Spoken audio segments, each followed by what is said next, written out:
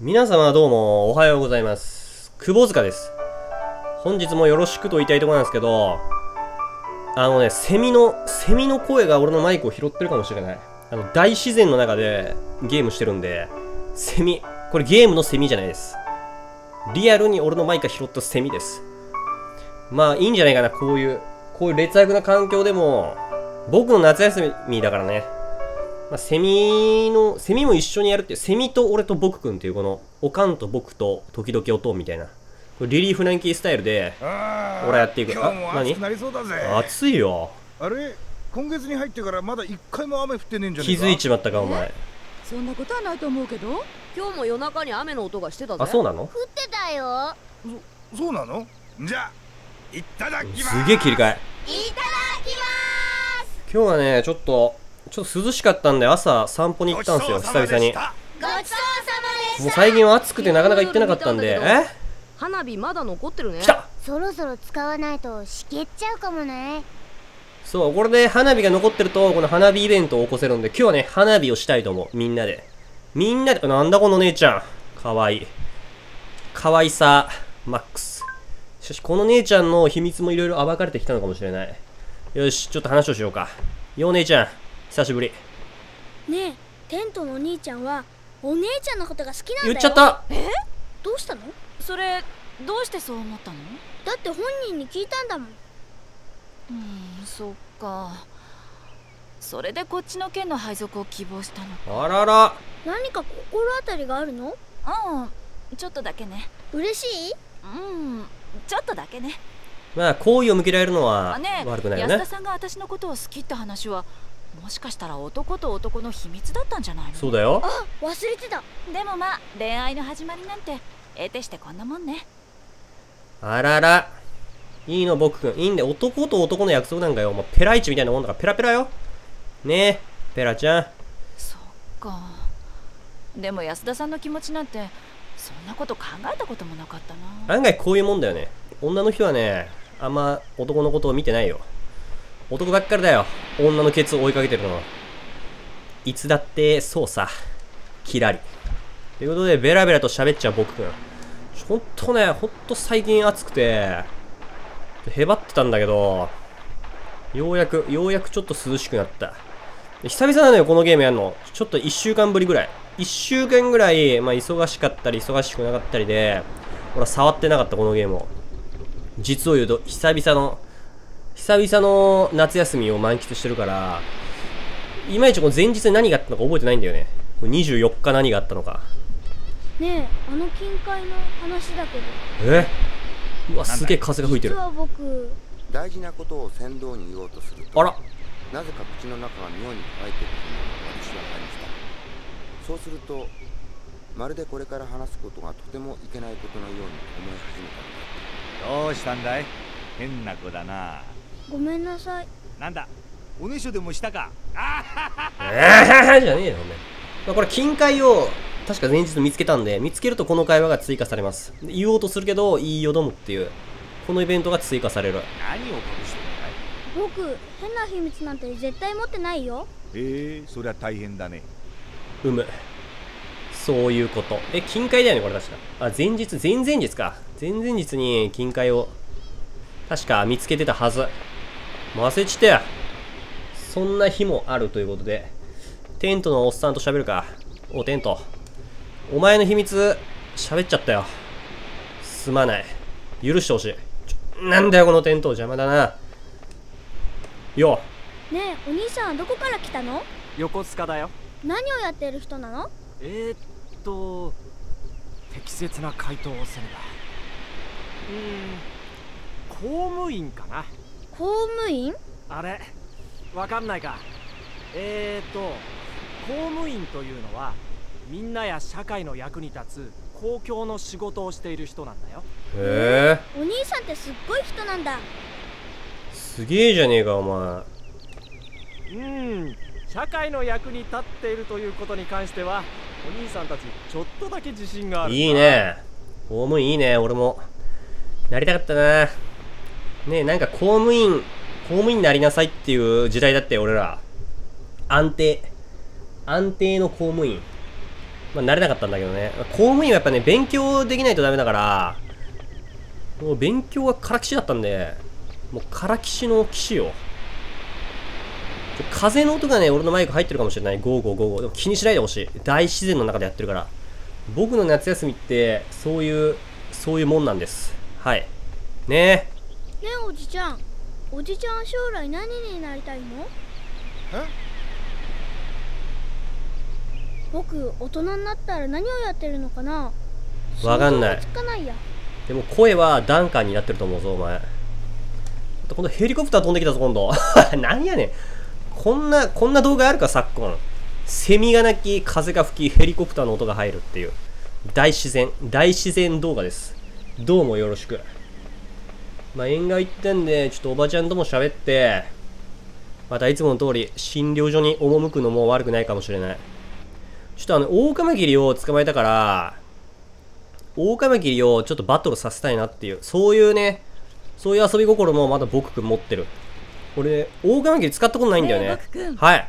海の中で普段食べてる魚に出会うとなんだか嬉しくない？これ聞いたよな。そうだねでも水族館で普段食べてる魚に出会うとものすごく損した気分になるのよね聞いたな。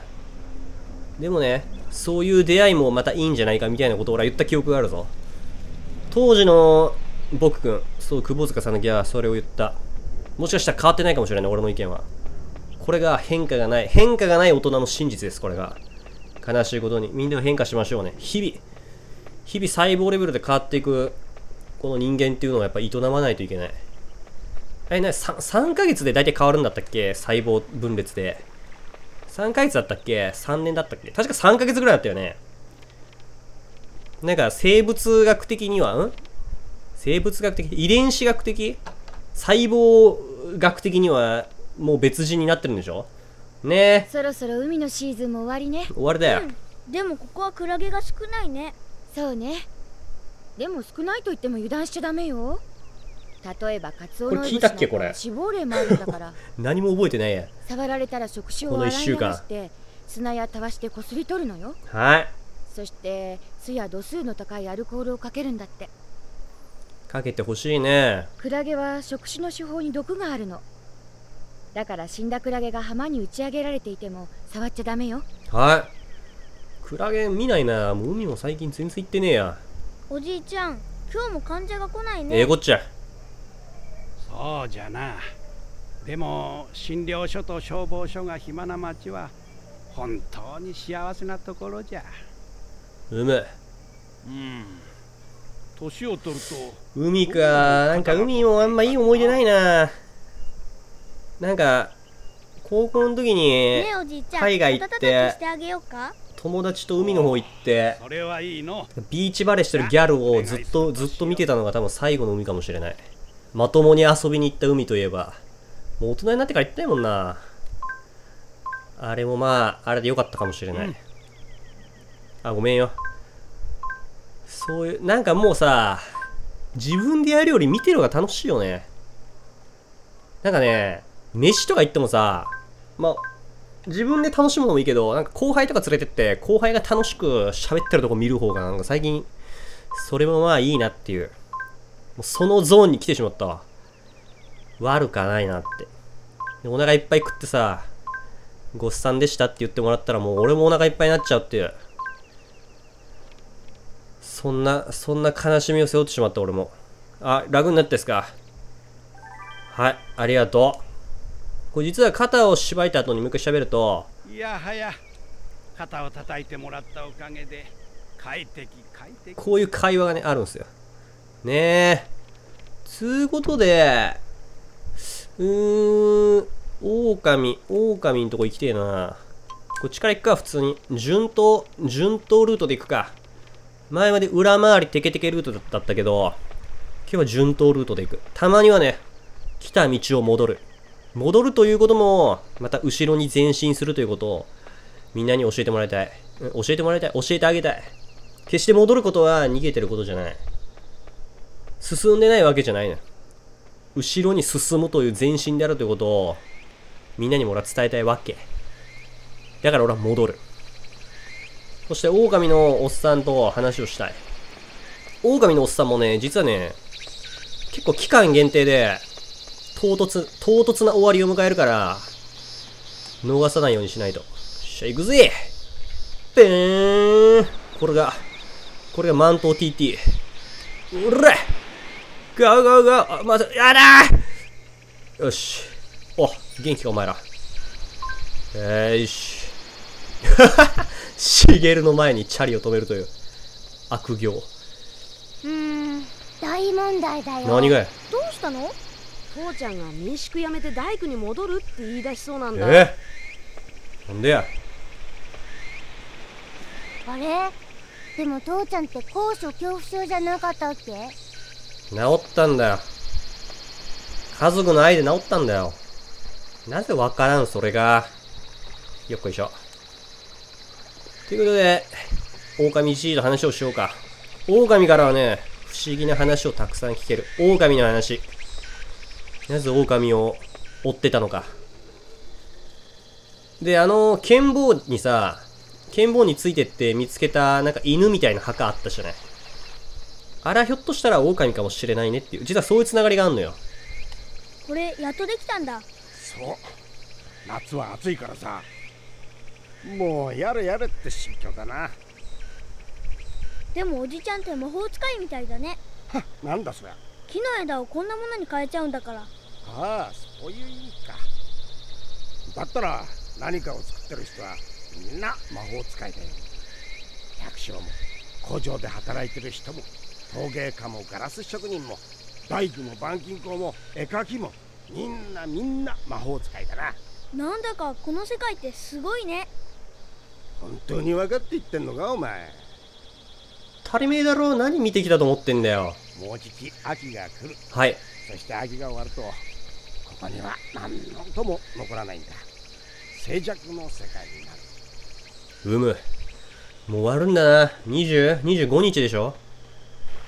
もう実際夏休みの頃の8月25日っつったら、もうほぼ終わりだもんな。なんなんだよこのブロックは俺の進行を妨げてくる。妨げブロック。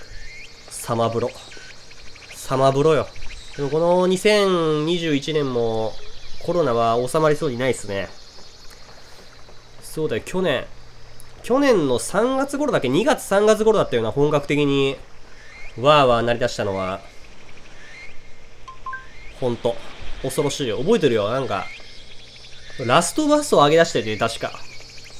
パンデミックに、パンデミックに沿って、なんか上げてた気がするわ。もう遥か昔に思える。なあ。ねえおじちゃん家にまだ花火があるんだけど今晩みんなでやらない？あそれいいな。ここにはもっとでっかいのがあるけどたまにはおとなしいやつを打ち上げるのもいいかもね。ロケット花火じゃなくて夜やる花火だってば。あれそうなの？じゃあ晩ご飯を食べ終わったら公園に集合っていいかな諸君。うん分かったよ姉ちゃん花火が残ってる状態で、この二人に話しかけると、このイベントが追加されるんだよ。なんだ？ロケット花火じゃないのかで、晩ご飯の後にみんなで花火をやるっていうイベントが追加される。花火を使い切ってると、このイベントは発生しないんですね。そう、ほんで、花火使い切った時に、ここに来ると、普通にあの、押しかけ家庭教師の話になってる。確かそうだった気がする。そう、結構ね、結構フラグ管理が重要なんですよ。イエスフラグ管理。いいね、俺もこんな綺麗な海で泳ぎたいなお、できたできたこれね、あ、見た見た見見た今のこれができんのよ。ジャンピングドルフィン。もう一回やろう。ほらお、すごくない？これこれ結構、なんか急にできるようになった。前までできなかったのに。ちょ、もう一回やろうか。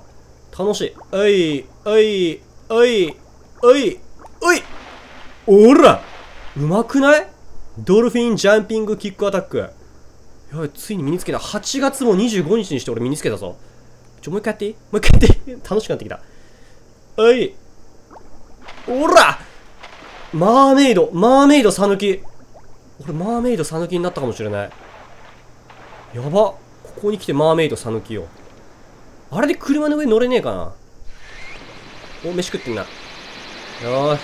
たまには太陽でも見ようか。綺麗な綺麗な一本柱。そして動かない雲。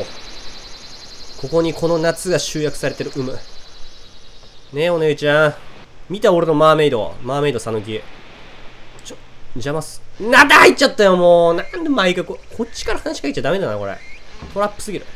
ちょお姉ちゃん邪魔なのよ。俺がどっち向いてるか分かんねえんだよこっち。ちょ俺今どこ見てんの？こっちよしよし。ケツから話しかけよう。うい。今日は何ラーメン？お醤油。金もこいつ。おしょうゆうん。もう一杯。欲しいかも。おいやめとけ。お前塩分取りすぎやぞ。動脈硬化なるぞ動脈硬化につうことでね防波堤に行くと谷口のおっさんがいる。俺と谷口おっさんの中まだまだ深めないといけない。俺うまくない？もうなんか完全に身につけたわ。スーパードルフィンダイビングアタックだったっけ？なんか忘れたけど。やべうますぎる。完璧完璧に身につけた。よしこっから上がろう。よしよし。ようさ。ん話をしようぜ俺と。ドルフィンサヌキって呼んでくれ。おじちゃん昔ここら辺で先生婦の仕事やってた。はい。そうなんだ。港の拡張工事だった。3年目に工事が中止になるまでずっとここで働いていたんだいろいろ話してくれるようになったね。ああ間違えた。話したいんだよ反復横跳びをしたいんじゃないんだ俺は。あの時おじちゃんはまだ潜水士の免許取り立ての新米だった。うーん。終わりか？あの時うん。まあ まあもうもうみんな分かってると思うけどこのおじちゃんが何しに来たのか。でもうすぐ時効っつってたからね。さあどうどう展開が進んでいくのか。俺は気になるところだ。うーむいい時間だなどうしようかな。とってんとってん山でちょっと大カマキリのでっかいのを捕まえたい気分ではある。ちょっと行ってみるか。行ってまあ時間に余裕があれば虫相撲をして、まあ、オオカマキリのパワーっていうのも俺は見ていきたい。ちょ本当にねやったことないんだよ。なんだよどこにいんだよ。これ蝶だろ？いや今いたよな。これ蝶だろキアゲハいらないここがへっへっえいない？ここ俺の目が病気になってるだけ？ちょ、まじ、ど、いるよな、ここ。チカチカチカチカしてんの、さっきから。なん、なんか、なんかおかしいわ、このゲーム。あ、よし、ゲットした。これ絶対ゲットした、今。キングサイズだろ。なんだ、こいつお前、お前誰やねん。呼んでねえよ。なんて名前今、熊切あさみみたいな名前だったな。なんか熊切ゲットしたんだけど、熊切あさみって今何してんの？もういいよ、もう。ダメだ、この時間。これはもうオールカットだ。よーし、じゃあ見してやるか。こいつの強さ。大釜。大釜見してやる？俺初めて出すんだけど。まず俺が相手ねよしよし。大釜は誰に強いんだ？あ、スタミナあんまないんだね。ちょっと待って、大釜。大釜の得意不得意を俺はまだ全く分かってない。ちょっとチェックするわ。大釜切りは、あコクはお肉はにうっちゃり投げが強いんだ。あ、うっちゃり持ちに強いんだね。カマキリバスターって技持ってるぞ。何これ？すげえ強いじゃん。大張り手。強すぎる。これはもう負ける気はしないな。よし、見してやれ。お前のパワー。パワーが違う。この細い体でボコボコにできるんだろ、これ。もう普通に強いじゃん。普通に強い。てか、赤足がうんこなんか。まあ、それ弱えわな。僕の番かこんな赤足ごときに負ける僕じゃない。カブトムシメス。確かにパワーはありそう。スタミナもありそう。でも違う。うわ、普通に勝てるんだ、カブトムシにも。パワーで。なんだてめえ、その、アグレッシブな動き。効かないよ。そういうテクニック、子供の話、俺には効かないから。ただ押していくだけ。ただ押すっていう。押すのが一番強いから。負けちゃったなんか特にテクニカルな技見せないな。じゃあ次は俺の番大カマキリ。またお前かよ。なんなんだこの一族は。この一族俺に勝つ気ないんだからさ。出てこなくていいよもう。帰ってくれ家に。いらない。そういう相手いらないです。私。私の目指してるレベルはそこじゃない。戦うことに意義があるとか言ってる連中じゃないね。勝ちを。勝ち星を収めることにネブと。これはちょっと強敵かもしれない。懐に潜り込んでくる可能性がある。しかし、何引き込んできやがったやるこいついいぞ。そっから、ぶちかませ。張り手を。張り手をぶちかませ。お、何してんだお前。何してんの？そう。こいつ賢い。スタミナ管理完璧じゃん。下がって回復して、押し返して勝つっていう。やっぱ頭もいい、大カマキリ。次は俺の番ねパワーだけじゃない。ミヤマ。こいつは結構強敵かもしれない。よし行けミヤマにもパワーで勝ってる？もうとんでもない化け物だぞ、こいつ。やれ殺しちまえ、そんなやつ。強え。強え。この5勝。全くの危険がない。一切の不安要素がないぞ、こいつ。カブとメスもさっき、59匹お前メス連れてきてんのかよ。飛んだ野郎だな。いける。ただ、押しゃいいだけ。分かって、押しゃいい相手と、引きゃいい相手分かってんの、こいつ。負けちゃっやたマサチューセッツ大卒業かもしれない。じゃあ次は俺の番ねマサチューセッツ工科大学の卒業生の可能性が出てきた、この大カマキリ。相当な学歴を持ってるぞ。かなわん。もしかしたら俺より頭がいい可能性がある。戦い方に無駄がないんだよ。何？ぶち、やばい回復しろ一回下がれ、一回下がれ。そうそうそうそう。こいつ賢い。は？どんなもんだいこんなとこでよ、ガキと遊んでる場合じゃなかった。まずは風呂に入る。私、まず風呂に入ります。すちゃ。おー。さあ、今日は誰がいるのかな？よっこいしょういち。入ります。おー。海にセミの死骸が浮いてたえ？セミの死骸？この浜の夏もそろそろ終わるそうするとどうなるの？さあ、これは何を暗示しているのか。また重く深い言葉がのしかかってきた。この夏も終わりよ。まあ、このゲームの僕くんも、結局俺たちが観測できるのは8月31日までだから、まあ終わってしまうわけよ。つうことで、あと1週間。1週間も切ってんのか？25だし。早かったな。なんかこのゲームしてるとね、俺心が平和になってきたわ。すさんだ心が癒される。常に朝笑ってんもん、最近。ははははって。笑顔から、笑顔から始まってる。ねえ、お姉ちゃん。そういえば今年は一回も泳がなかったな一緒に泳ごうよ。お姉さんって泳げる人なの？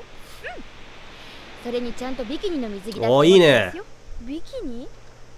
それってどうなってるやつなの？上と下が分かれてるやつそおへそが見えちゃうのあらセクシーそれをビキニって言うんだよ。そうかあれがビキニなのかまた一つ賢くなったな。どんどん賢くなっていく僕くん。こうやって大人になっていくわけよ。よし。まあ、船頭にも話してやるか。いや、話すことって大事だからね。やっぱ話してる数が多い人間と少ない人間って、圧倒的にね、いろんな差が出てる。具体的な差はわかんないけど、やっぱ違う。話し慣れてるやつ。ちょ、やばい。下手くそになった俺。えいやべちょっと待って。できなくなった。あ、できた。よしよし、これ、これを、これを見せびらかしていく人生にしようか。己のテクニックを過信していく。ちょっと、どっから上がんのこれ。急に上がれなくなったんだけど。よーし。うむ、まだ来てないみたいか。まあ、ここは一応深だれで来るんじゃないかな。あの親父。お、もう来た。お前、どっから来た？ワープしてきたな、お前。ねえ最近看護婦さんに会った？合ってるよ。なんだか声をかけづらくてさかけるなよ、もう、お前気持ち悪いかねえお兄らち。ゃん大人になるのってさえ？なんだよ急にいろんな人に声をかけづらくなるそういうこと。うーんそれはケースバイケースかなそういうことよ。すごいお兄ちゃん英語話せるんだねまあね賢いな、お前。2言語も話せんの？やるじゃん。俺なんか1言語も話せてないのにさ、0. 0.3言語ぐらいだぞ。俺の語学、修学率は。ねえ。アポロ宇宙船から見える地球の夜の部分では一番明るく輝いてこれ聞いてないよねるのは日本海のイカ釣り漁船らしいよそうだよ。今夕日に照らされて光り輝くこの海辺の色はあの宇宙船の窓からどんな色に見えてるのかな？このサイモンの話を聞いてると、こいつは世界を色で認識してる傾向があるね。なるほど。こうやってね、あの、このゲーム面白いのはみんなね、あの見方が違うのよね。人で見てる人、環境で見てる人、色で見てる人、みんな違うっていう作りになってんのがね、なかなか面白いね。そこを分かりやすく、分かりやすくしてくれてる。果たして君は何で世界を見ているのかな？ねえじいちゃん。どうだい？ねえじいちゃんの奥さんってここで生まれた人だって聞いたけど。うんそうじゃ。この場所で生まれたのじゃ。家自体はわしの息子の代になってから建て替えたのじゃが、うん。以前は太いヒノキの大黒柱が黒く光っているような昔ながらの屋敷お兄ちゃん言ってたよね。そうなんだ。まあ今でも王子と変わらずあるのは庭の夏みかんの木くらいじゃの。うーん。今でも時々夢に出てくるのじゃ。家内の育ったこの家に最初に足を踏み入れた時のことやそして嫁にもらうために父に頭を下げに来た時のことが。へえ。でもあれなんだよね、この昭和50年の段階でこういうフローリングの部屋ってどうなんだろう。結構珍しいのかな。ベッドがあってさ、まあなんか洋式な感じじゃん。やっぱ立て直して結構新しい感じなのかもね。新しいっていうのは結構まだ、まだ世界にはこういう形の、うん、この日本にはこういう形の建物は少ないのかもしれない。そういうことを感じさせる今日この頃。へへこんなとこにお前どこにいんだよもう飯の時間だ見えねえぞ、おはい前。物陰から、木陰から話しかけるなよ。怖いだろ、びっくりしたぞ、今、ちょっと。いたいたいた。じゃあいただきますいただきます今ちょっとチクッと、チクッとした顔が。顔にダメージを負ってしまったごちそうさまで。したごちそうさまでしたごっさん。えー、っと、夜は、あー、夜もまた、そうだ、花火があるんだ。何その手の振り方、ワイパーみたい。よう、来たぜ。やあみんな待った？ちょうど今来たとこ。花火花火。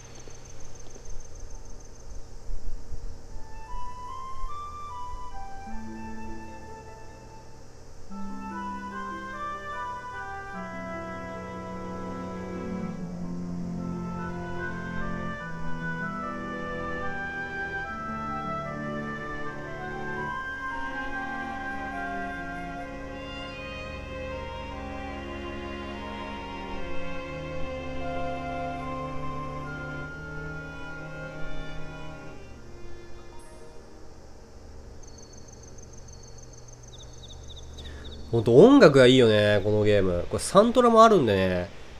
いや、買いたいなと思いながら結局買ってなかったんだけど、ほんとね、ゲームのサントラは、なかなかいいよね。やってると楽しめる。やってないとね、なんか聞いても普通の、普通の曲にしか聞こえないけど。ねえ。こっち行けんの、こっち。お、いいね。こっちは？やるお前、スーパーマリオに、スーパーマリオになれるぞ。あ、いいあ、いいあ、最高、君。いい、いいバランス感覚持ってる。よし。ねえ、楽しかったね。ねえイルカ座ってどこにあるんだっけ？わかんない。ああほら夏の大三角形の一つアルタエルの北東だよえ？4等星以下の星ばかりだから見つけるのはちょっと大変なんだけどねへえさすがにほとんど見えないわねあのイルカってさきっと入道雲がなくって海と空の境目がわからなくなっちゃうぐらいよく晴れた夏の日に泳いでいたらあんまり気持ちよくってスイスイ空まで登っちゃったんだと思うよで降りてこれなくなったってわけねポエマーじゃねえか。僕も一度でいいから空を泳いでみたいよ溺れる心配もないしねまあ、あとは若いもんに。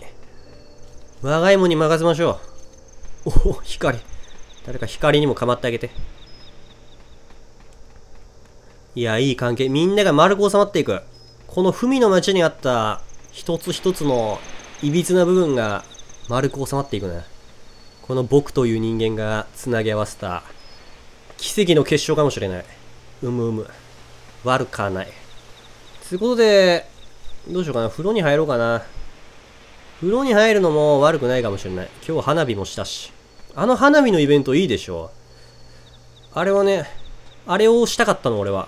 ねえおばちゃん。今日の晩ご飯は、はい。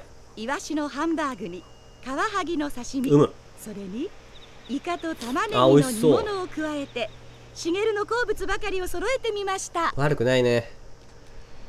ああもう疲れた今よ日。なんだか疲れちゃったななんだかんだ。なんだかんだちょっとずつオリンピック見てるねえおわ。ばちゃん肩きしてあげるえ？いやなんかね、俺すげえ楽しみにしてた派だったね、オリンピックは。まあいろんな意見があったみたいだけど、まあするんならね。するのであれば、まあスポーツ見るのは結構好きだから。その調子ねこう、日本人選手、なんか新しい競技とかもいっぱいあったじゃない。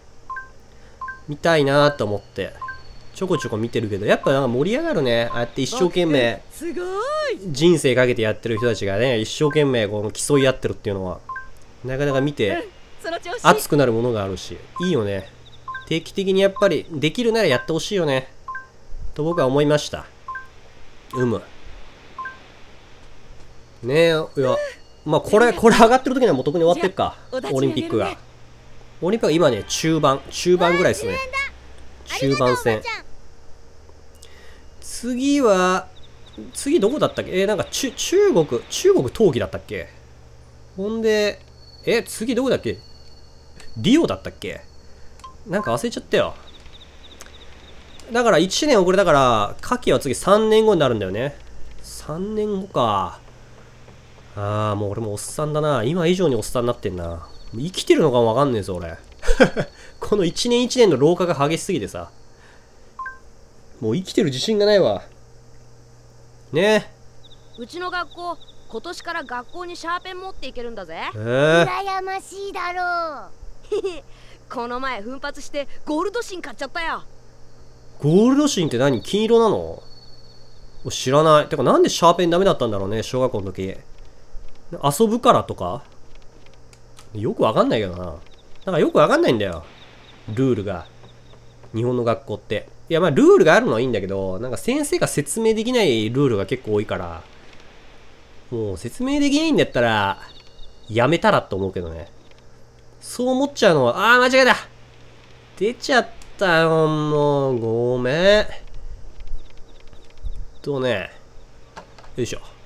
話をしたいんだよね。よ、元気？ねえおじちゃん女子大生はおじちゃんのファンだよえ？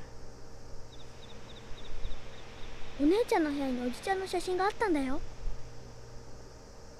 何かの間違いだろうん。写真間違いじゃないってばじゃあ悪い冗談だこれも確か写真を見っけてたら発生するんだったよな。なんかそんな、そんな気がする。まあなんで写真持ってたのか。そういうことね。これサイモンって、もういんのかな？サイモン。話、あ、ヨシカちゃん。キュウリ食べてんの？ってお酒も飲めるし学校に行かなくてもいいし本当に楽しい人生なんだぜ今の話ちょっとだけ信じただろ？まあ、確かにな。まあ、学校に行かないっていう良さもあるよね。悪さもあるけど。キュウリ食べる？食べるん、最近食べてなかったもんね。あ、美味しい。